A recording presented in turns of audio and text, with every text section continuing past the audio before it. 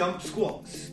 We're gonna think feet about hip width apart, toes straight forward, and on the landing, we wanna land on the ball of the foot, on the outside edge, ball of the foot. So not your big toe ball of the foot, but the little toe. So think outside edge, front of the foot.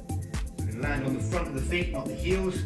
Squat down, jump, and land. Try and keep your posture, keep your chest up, eyes forward, Absorb that landing.